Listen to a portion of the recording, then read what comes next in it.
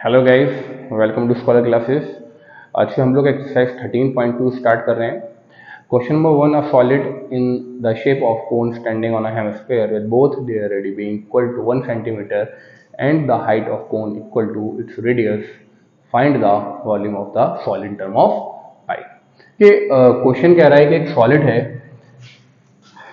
जो हेमस्फेयर और हेमस्फेयर के ऊपर कोन इस शेप में एक सॉलिड आपको दे रखा है।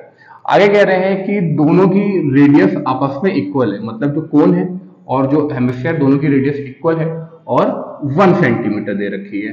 जो रेडियस हो जाएगी वो वन सेंटीमीटर हो जाएगी। आगे कह रहे हैं कि जो हाइट ऑफ़ कोन है, वो भी रेडियस के इक्वल है। तो ये जो हाइट ऑफ़ कोन होगी, ये भी रेडियस के इक्वल होगी और रेडियस वन सेंटीमीटर है तो हाइट ऑफ़ कोन भी क्या हो जाएगी?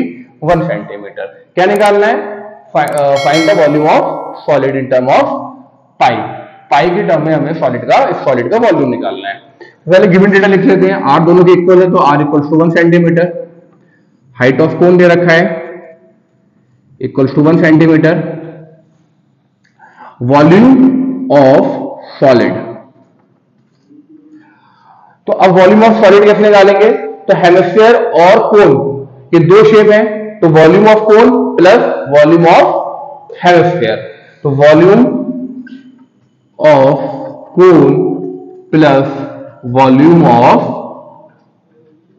hemisphere volume of cone क्या होता है? One upon three pi r square h तो one upon three pi r square h plus volume of hemisphere होता है two by three pi r cube अब देखिए क्वेश्चन कह रहा है कि जो हमें वॉल्यूम फाइंड करना है, वो पाई की टर्म में निकालना है। मतलब पाई की वैल्यू यहाँ पर नहीं रखनी है।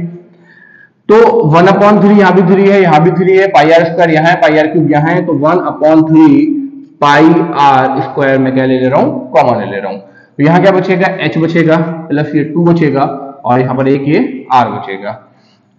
तो वन बाई थ्री ऐसे ये पाई की वैल्यू में नहीं लगानी है, क्योंकि हमें पाई में आंसर लाना है। रेडियस वन दे रखी है वन का स्क्वायर एच बी वन है plus two multiply by one one by three pi one का स्क्वायर क्या होगा? वन होगा. One plus two multiply by one equal to two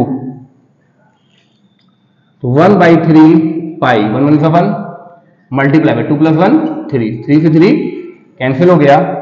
तो क्या आंसर आया? Pi centimetre cube answer question क्या आया था कि हमें पाई के टर्म में आंसर लाना है तो जो हमारा सॉलिड आया, उसका जो आंसर आएगा पाई सेंटीमीटर क्यूब